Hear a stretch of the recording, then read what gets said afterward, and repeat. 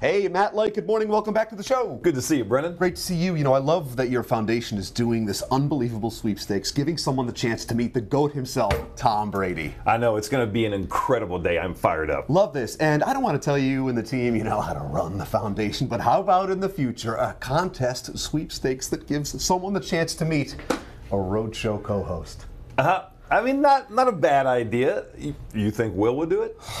Come on. Okay, okay, okay, kidding. Will and Audrey. All right, kidding, kidding. Will, Audrey, and Brendan. because clearly we need somebody to take pictures. Seriously. Live from WPRI 12, this is The Rhode Show.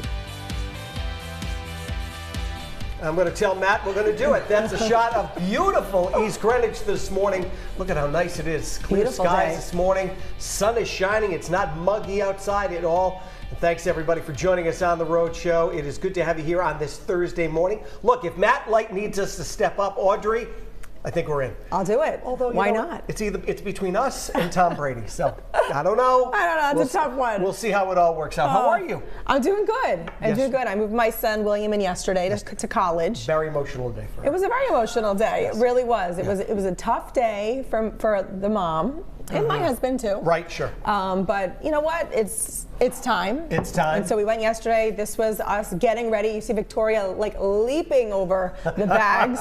She's literally in midair. Um, I just did a quick quick selfie of us in the process of getting the room ready. Sure. And then you know, of course, that goodbye Oh, hug. Oh, there it is. I'm sobbing in this There it photo. is. I just want to let you know, I'm, I, my body was literally like, Like shaking. shaking. Yeah, yeah. Um, and then right before we left, he came outside. We did. We took one selfie. Right, I had right. the hat on because I was trying to to lower it throughout the day because my eyes were so um, puffy Yeah, from from being very emotional. But I was telling you guys this morning.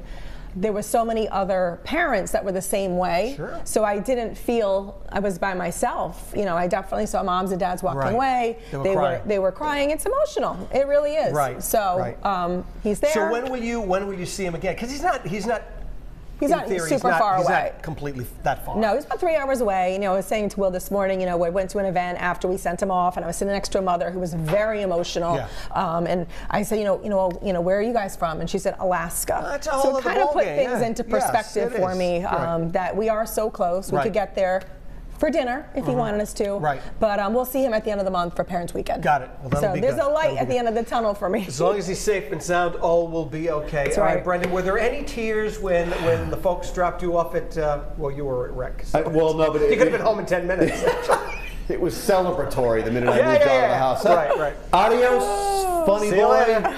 Adios. All kidding aside, Audrey, your son, he is going to do great. I and hope great. so. You and Matt should be very proud. Right. I did say that the- when we drove off. I said, you know what, we and I'm not even kidding. I said, looked at Matt tears, and I said, we did, we did good. Yes, he's a yes, good he's a kid. good You know, he's a good kid. He's a terrific kid and a great athlete, and I think he's going to just do so very well. yep. So- And uh, that's you, you did great. Thank I know you. you were. I texted you. I said, I, hope all goes okay. I told Yeah, her, you know, he's going to come home, and she's, she's going to look at Matt going, "When's he going? When's he going back to college?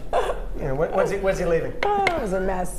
I'm going to check in on him periodically Sure. as well. Please I- do. I don't me really- know. Text him. Well, good morning, friends. Good morning. Nice to see you both on this fine Thursday morning. Oh, and listen to this powerful guest lineup.